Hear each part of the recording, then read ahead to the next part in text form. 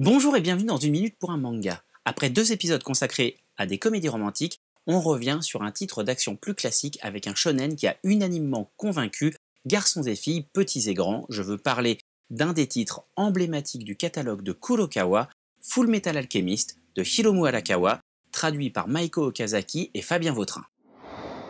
En voulant ressusciter leur mère, Edward et Alphonse Elric vont utiliser une technique alchimique interdite, la transmutation humaine. Seulement, l'expérience tourne mal. Edward va perdre une jambe et un bras et Alphonse va perdre tout son corps, son esprit devenant prisonnier d'une armure. Devenu alchimiste d'État, Edward, qu'on surnomme le Full Metal Alchemist, part à la recherche avec son frère de la pierre philosophale, seule chance pour eux de retrouver leur corps. Alors pourquoi Full Metal Alchemist est-il un indispensable dans votre bibliothèque manga?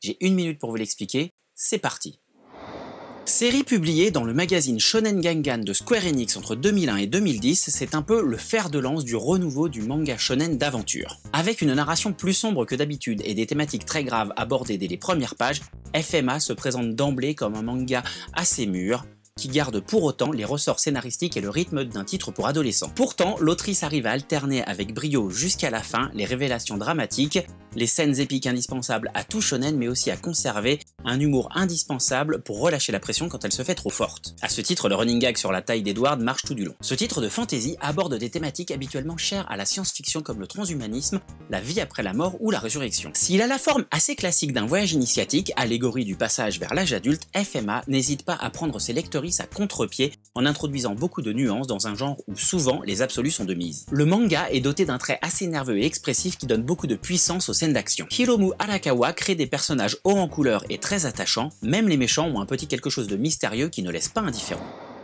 Hiromu Arakawa la créatrice de Full Metal Alchemist est originaire du nord du Japon, de l'archipel rural de Hokkaido. Issue d'une famille de fermiers, elle a d'abord travaillé dans l'exploitation familiale avant de devenir mangaka. Si de nombreuses idées dans FMA comme l'échange équivalent proviennent de son passé, elle renouera avec celui-ci dans son œuvre suivante, Silver Spoon, une comédie qui se déroule dans un lycée agricole et dont nous reparlerons dans un épisode suivant, ce titre a des qualités indéniables. Et voilà, c'est tout pour cette semaine. Alors même si vous vous êtes laissé tenter déjà par l'animé, n'hésitez pas à lire le manga de FMA, il est exceptionnel. J'espère en tout cas que cet épisode vous a plu. Si c'est le cas, il y a la lap dance, n'oubliez pas. Je sais que c'est les vacances d'été, mais moi je ne m'arrête pas. Je vous donne donc rendez-vous la semaine prochaine avec un épisode qui je pense vous fera frissonner. D'ici là, portez-vous bien, prenez soin de vous et lisez plein de mangas. Ciao